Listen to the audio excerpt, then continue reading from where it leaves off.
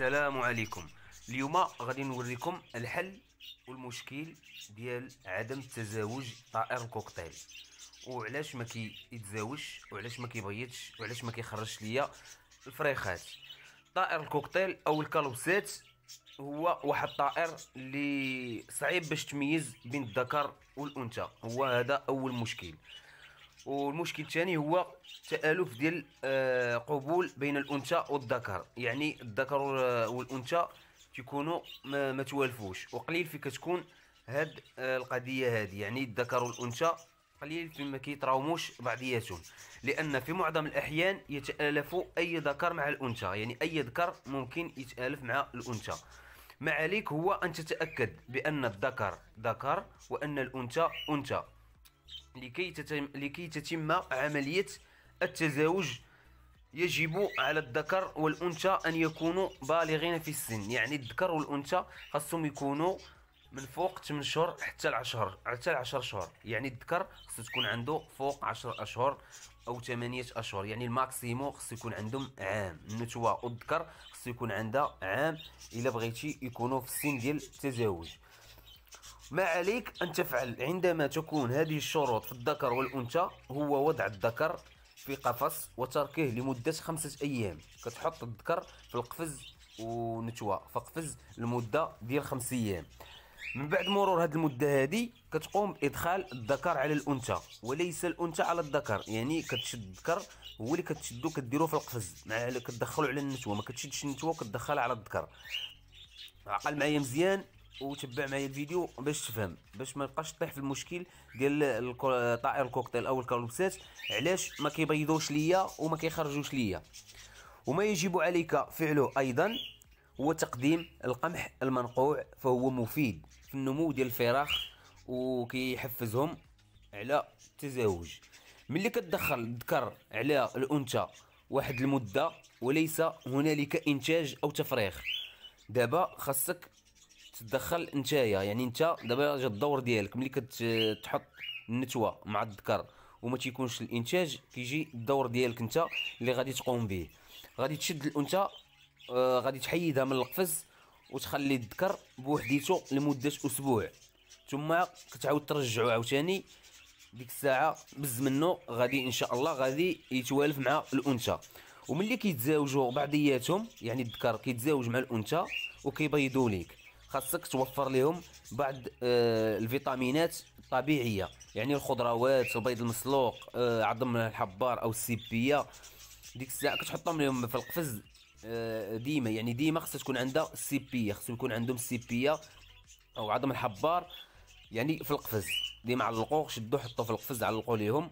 ولا عندك غرفة ديال الطيور شوف شي بلاصة اللي ما يوصلش ليها آه، البزاق ديالهم. وكتحطهم باش ما يبقاوش يبزقوا عليها. حاجة أخرى. الخوت هو إطعام الطيور يوميا في الصباح البيض المسلوق. والنظافة وبالأخص اللي نوصيكم عليه هو النظافة ديال الماء. الماء خاصك تقوم بالتغيير ديالو يوميا باش تحافظ على الطيور ديالك من الإسهال باش ما يمرضوش ليك. وحاجة أخرى عدم الإزعاج أو الدخول بشكل مفاجئ. يعني تدخل على غفلة تتحل عليهم على غفلة وش تكون هي مبيضة ولا مخرجة ما تحلش عليهم على غفلة. يعني حل بواحد الطريقة ولا دير شي صوت اللي يعرفوك بأنك راك جاي تدخل تشوفهم ولا انت اللي عطل عليهم باش ما تخلعهمش باش ميتوش باش ما يموتوش لك ولا الفراخ ولا الذكر أو الأنثى كيبقاو مع داك الخوف ديالهم كيهاج كيخويو هذيك القفز هذاك العش ديالهم ما كيبقاوش يدخلوا ليه. وملي كتدوز 8 أيام خاصك تنظف ليهم العش. يعني دوز 8 أيام خاصك تنظف ليهم العش ديالهم تحيد ليهم هذيك النجارة اللي كاينة تما وتعاود دير ليهم نجارة أخرى. حيت النظافة ضرورية ومهمة الخوت النظافة ضرورية لطائر الكالوبسات حيت حساس وكيمرض بالزربة إلا ما اعتنيتيش به. واحد القضية وغادي نقولها لكم هو نصيحة نصيحة للخوت اللي باغيين يربيو الكالوبسات أو الكوكتيل. آه خاصو يعرفها مزيان هو من الأحسن ومن الأحسن اللي كنصح بها كاع الدراري اللي كيبغيو يبداو الكالوبسات أو طائر الكوكتيل. هو ديما شري آه الطائر يكون صغير يعني يكبر عندك. تشريه صغير يتربى عندك يولف عليك عينتايا باش من اللي كيتزاوج كيتزاوج بخاطرو وكيرتاح وكيعرف راسو بأنه راه انت هو كلشي. يعني انت هو اللي كتقدم له الماكلة انت هو كلشي. حيت فاش كتشري جوج آه، نتوى وذكر كبار في آه، مثلا آه، كبار ولا فايتين عاطين عند واحد السيد ولا واحد مربي الطيور خديتي من عنده وهما كبار وموجودين. ويكون على أكيد بأنهم ما غاديش يبيضوا عندك في واحد يعني غتسنى واحد المده باش هما خصهم يعرفوا البلاصة وهادي يعني كيكونوا بزاف ديال العراقيل. طائر الكوكتيل من الأحسن جيبو يكون صغير.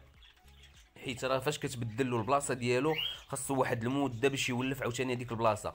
وكاينة واحد القضية أخرى بنادم كيشري مثلا هو عنده عنده قفز كيمشي يشري مثلا من آه، طيور من عند شي واحد مثلا عنده سجنة يعني عنده غرفة ديال الطيور. يعني الطائر فاش كيكون في السجنة وكتجيبو كتدخلو القفز راه صعيب على أنه باش يبيض لك في واحد الوقيتة. هادشي علاش كنقول لكم ما تاخذوا الفراخ خذوهم صغار. واخا تاخذوا مثلا من من السلاكة عادي وتحطوا في القفز غيجي واحد المدة غيكون ولاف هو على القفز باش يبيض لك. راه ما يمكنش انت شريتي طائر كبير مثلا من من قفز وديتي حطيتيه في السجنة ما غاديش يبيض لك. كاين اللي كيضرب حتى العام ونص عاد كيبيض. وهذا الشيء اللي تنقول لكم أنا راه تجربه يعني راه ماشي عاد تنجيو تنقول لكم. أنا تنقول لكم هذاك الشيء اللي كنشوفه بعينيا واللي كيوقع عندي في الغرفة ديال الطيور ديالي. كالوبسات إلا بغيتي يصدق عندك خذهم يكونوا وليدات. راه فرق مني كتشد. مثلا راه بنادم إلا مثلا آه، كنتي ساد علو في بيت وديتيه مثلا حولتيه شي بلاصة أخرى خصو واحد الوقت باش كيولف. عاد ديك الساعة كيعرف راسو شنو كيدير. المهم الخوت هذه نصيحة بغيت نوجهها للناس المبتدئة اللي يلاه باغا تبدا في التربية ديال طائر الكوكتيل. قلت نقول لكم هذه النصيحة هذه باش تعرفوها باش ما تبقاش راسك كيضرك كتبقى تقول علاش أنايا آه، شريتهم ودابا هما دابا ست شهور وما بيضوش ليا. يعني هالمشكل كما قلت لكم تأكد بأن الذكر ذكر وأن الأنثى أنثى.